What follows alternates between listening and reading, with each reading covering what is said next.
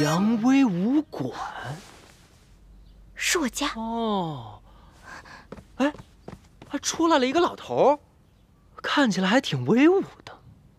那应该就是馆主了吧？他身后跟着的那位就应该是夫人了。哎呀，不好了，这武馆着火了！啊，好多人救火都扑不灭呢。哎，好端端的着火了呢？这馆主不听夫人规劝，冲进火海里去了。啊，这夫人也晕过去了。阿娘，你给我看看，哎，在哪儿啊？你再仔细看看。哎呀，什么都看不见啊！就在那里面，你肯定能看到的。在哪儿啊？在哪儿啊？就在前面呢。他们俩，他都进去了。他夫人还在门口晕着呢。快点，你肯定看得见。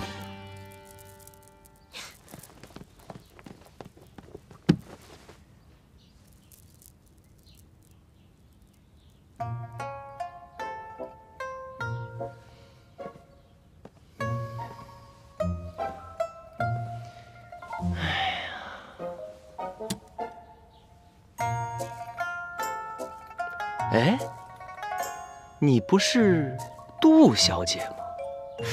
怎么成了武馆馆主的女儿了？据我所知，这家武馆馆主姓李，那你就应该是从小习得一身武艺的李玉湖李小姐了。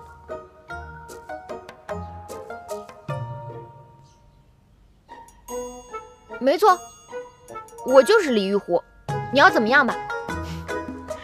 我不把你怎么样，你爱怎么样就怎么样，你愿意怎么样就怎么样。实话跟你说了吧，我来你们齐家，就是代替冰燕姐姐受罪来的。我还就喜欢你这样的英雄气概。媒婆都跟我说了，等你死之后，就把我送回扬州。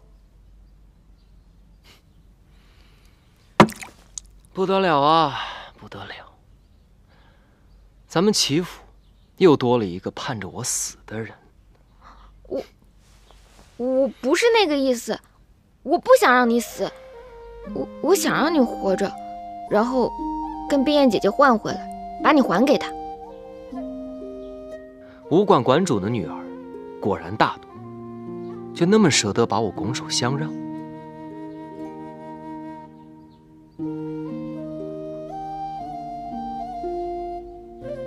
舍不得，但我弟弟跟我说过了，君子不应该惦记别人的东西。你原本就是冰燕姐姐的丈夫，我虽是女子，也不该惦记。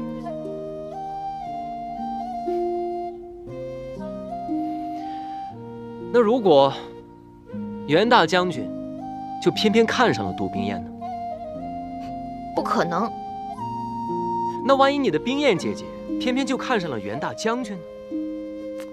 不可能，不可能，不可能！哎，你可别把话说的那么死。这世间男女情爱，最是琢磨不透，都是上天注定的。哼，我冰燕姐姐可是天上的仙女，她才看不上爱舞刀弄枪的大将军。那你喜欢拳脚功夫，不也让我这个齐三少爷心心念念吗？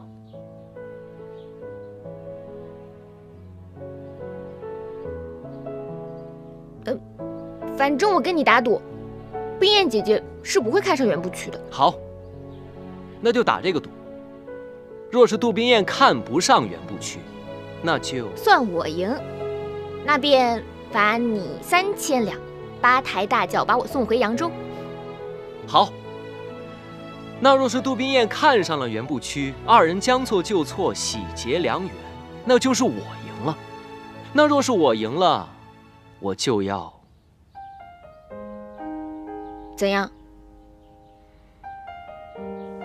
我就要你这位爱打抱不平、仗义相助的扬州李玉湖李小姐嫁给我。